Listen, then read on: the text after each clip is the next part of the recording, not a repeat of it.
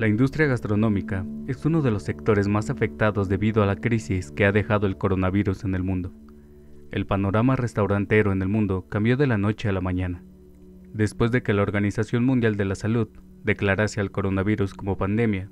Salir a comer a restaurantes o cafés dejó de ser una necesidad y por ende estos se vaciaron. En la Ciudad de México, esto puso en jaque a la industria restaurantera la cual beneficia alrededor de 2.14 millones de trabajadores, según datos proporcionados por el INEGI. E como medida preventiva durante las primeras semanas de la Jornada Nacional de Sana Distancia, las grandes cadenas restauranteras cerraron de manera indefinida como una medida preventiva de seguridad y así evitar contagios, pero cafeterías y restaurantes pequeños siguieron abiertos, dando servicio y la mayoría respetando las estrictas medidas de seguridad sanitaria como reduciendo el aforo a un 30% y en algunos casos solo haciendo pedido a domicilio. Para el 30 de marzo, las autoridades federales declararon emergencia sanitaria en México debido al COVID-19, lo que llevó a la suspensión de actividades no esenciales, entre las cuales destacaban los restaurantes.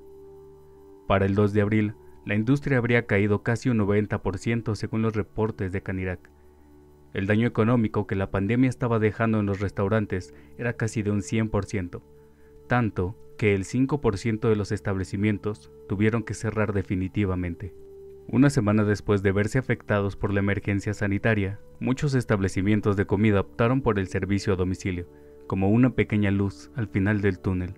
Algunas aplicaciones ayudaron a los restaurantes con un programa de descuentos, Lamentablemente, el servicio a domicilio no será suficiente para poder contrarrestar la crisis que ha dejado el coronavirus en los restaurantes, de la cual dependen alrededor de 1.700.000 familias, entre propietarios, personal de servicio, cocineros y proveedores de productos. El panorama para la industria restaurantera aún es incierto. La crisis que el coronavirus ha dejado a su paso llevó a muchos restaurantes a la quiebra, y en el mejor de los casos a su cierre indefinido. Su esperanza radica por ahora en las ventas a domicilio, hasta que puedan volver a abrir y ser parte de una nueva normalidad.